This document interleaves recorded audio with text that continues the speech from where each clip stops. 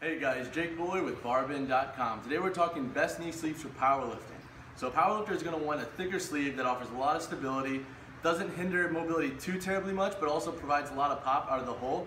So we felt that these four sleeves did the best job at that. We divided them into two sections, which are a stiffer 7mm neoprene, and then also sleeves that are approved for competition in the IPF.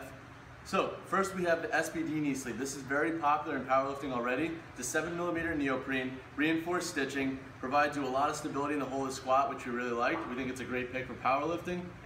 Next we have the Rehband 7 millimeter neoprene sleeve. Shorter design than the SBD, but it's also IPF approved. You can't wear them in competition, which we like. Also, it's a little bit less stiff than the SBD, so if you want a less stable knee sleeve, this is a good choice for you. Next, we have the Bear Complex 7mm neoprene.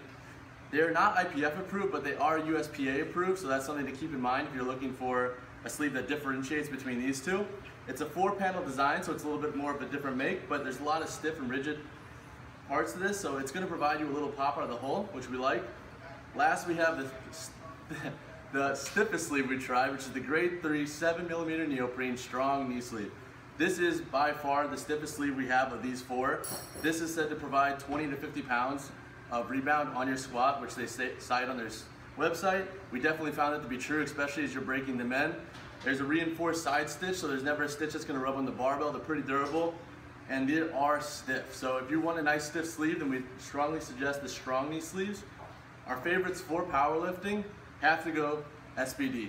These are tried and proven.